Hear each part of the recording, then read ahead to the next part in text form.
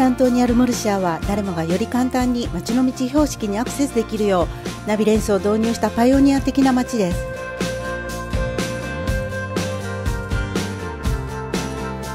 ナビレンス GO アプリのユーザーはムルシア市保存の歴史的資料などからムルシアの現在または過去の歴史について正確な情報が得られます。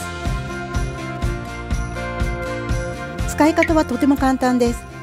道標識につけられたタグを見つけたらナビレンス GO を起動してカメラを向けてみてください。誰でもテキストや画像などでその場所の情報が受け取れます。拡張現実技術で街中の観光スポットへ簡単に行き着くことができます。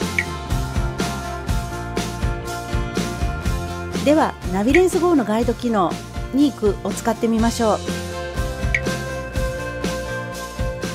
このコンテンツを利用するのに立ち止まる必要はなく長距離から読み取れます。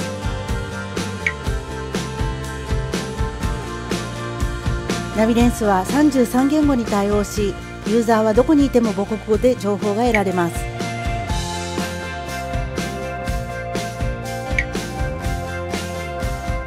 この次世代 QR コードはよりスマートにそして全ての人に向けたまちづくりに貢献しています。ではまた。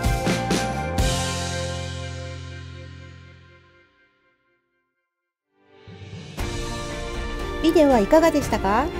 ナビ連生皆さんのご意見、ご要望をどんどんお寄せください。